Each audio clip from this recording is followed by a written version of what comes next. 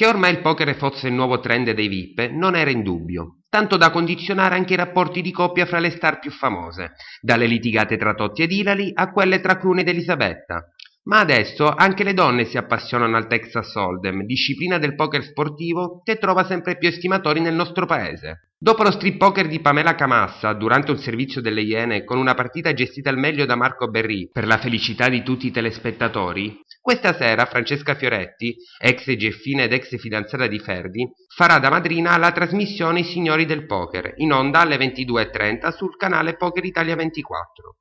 Girato a Milano il 18 maggio in occasione della presentazione ufficiale del nuovo Team Sisal Poker Pro, I Signori del Poker è un reportage nel mondo dei professionisti del poker sportivo, che spiegheranno nel dettaglio cosa fa un giocatore di Texas Hold'em.